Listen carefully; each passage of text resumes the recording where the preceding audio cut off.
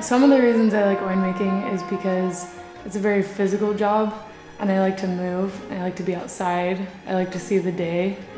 Um, I don't want to be stuck inside in some office behind a desk.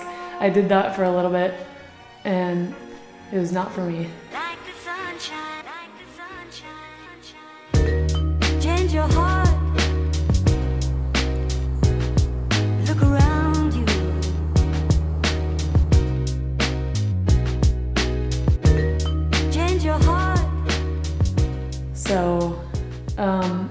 I love that it encompasses lots of things into one. It's very dynamic, it's different every day, it changes constantly. You kind of go with the seasons, you're following.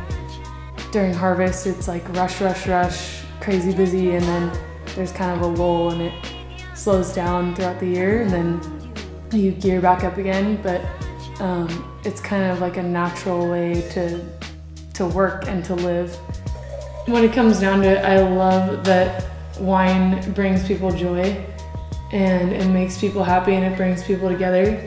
And it's a really fun way to talk about food and talk about, you know, what you, oh, I get cherry, oh, I get strawberry. It's, it's a way to be creative with other people. And it's kind of like, like writing music, I feel like that's the way I think of it, is like writing a song because, you know, well, I hear this, well, no, no, like this totally means this. Like it speaks to people differently.